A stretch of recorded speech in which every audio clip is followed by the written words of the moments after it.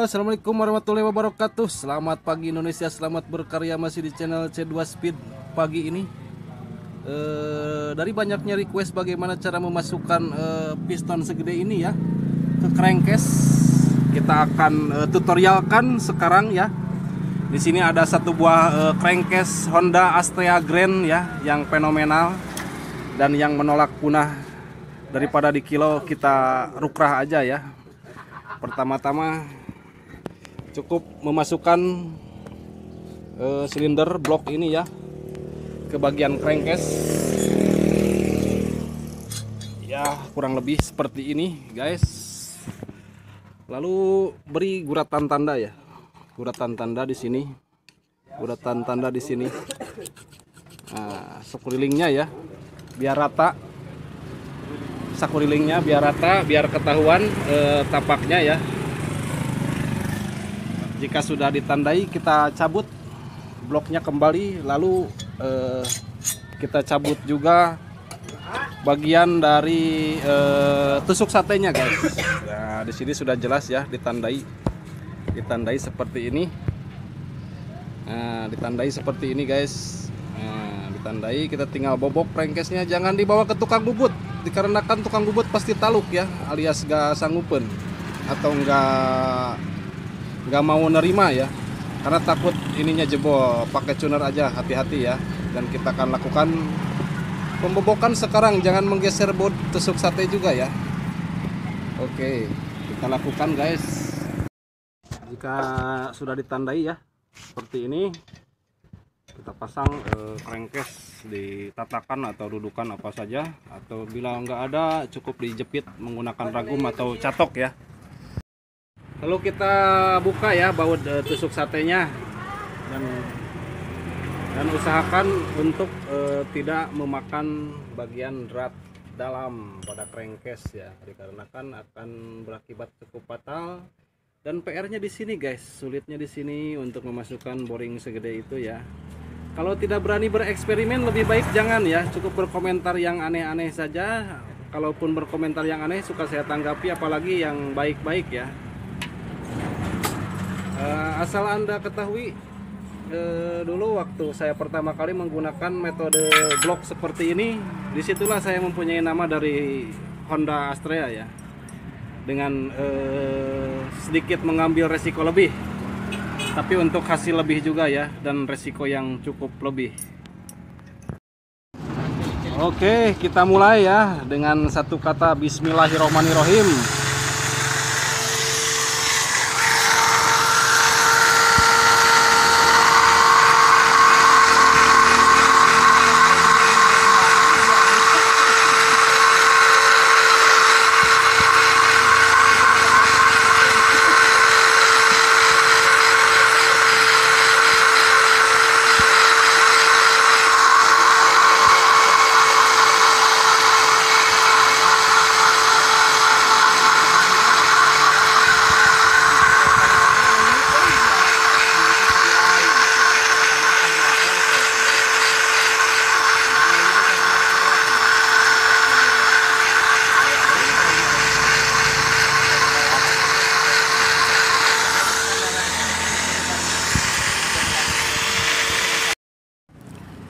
Jika sudah seperti ini eh, pastikan tiap sudut tusuk sate tidak ada yang termakan ya. Drat drat bagian dalamnya. Sebelah sini pastikan bersih, tidak ada drat yang termakan. Sebelah sini sebelah sini dan sebelah sini guys. Di sini PR-nya untuk memasukkan uh, boring segede ini ya. Coba masukkan. Pas.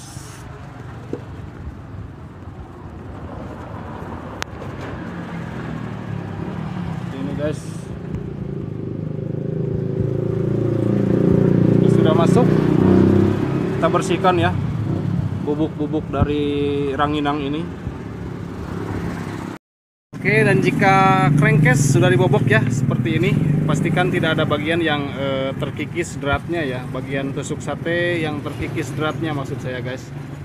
Pastikan semuanya rapi aman dan tidak ada gejala untuk karabut ya atau eh, kadudut eh, atau apa ya eh, ininya kejamret gitu ya.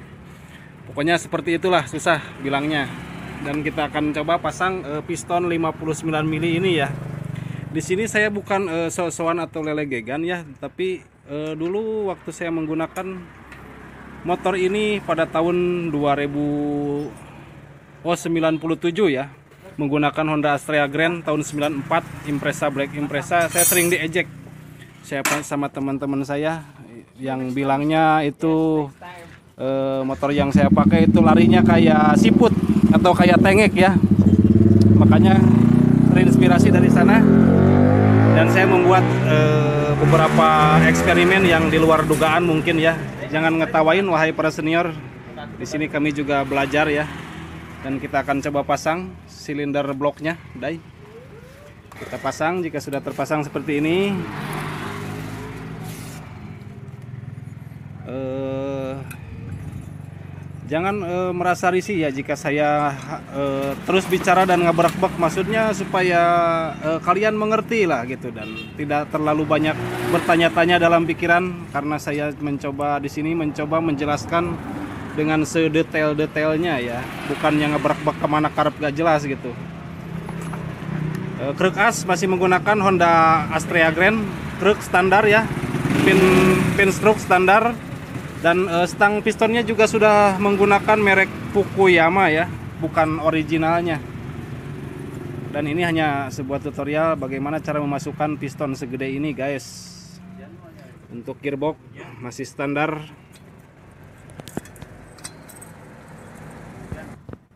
Oke, dan sudah terpasang ya dan akan coba kita putar. Ini dengan uh, skema struk standar, guys. Putar berkasnya. Ya, seperti ini. Untuk kelurusan atau kesentran uh, laju jalannya stroke atau connecting rod ke depan sudah saya urus ya dengan Mr. Jana dari uh, Jaya Teknik Motor Sukabumi. Sudah saya urus dengan sahabat saya Mang Jana sebagai uh, preset dari kelurusan atau kesentran jalannya stroke piston ini ya karena jika tidak center piston bisa uh, berakibat baret sebelah atau uh, ngupyak atau apa itu bahasanya ya atau ngepret entah bagaimana tapi setelah beberapa kali menggunakan metode boring seperti ini Alhamdulillah ya tidak pernah gagal guys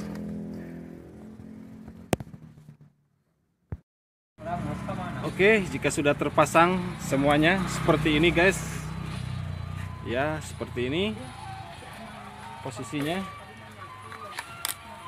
Seperti ini. Struk standar ya. Oke, mungkin cukup sekian eh, informasi yang saya berikan hari ini.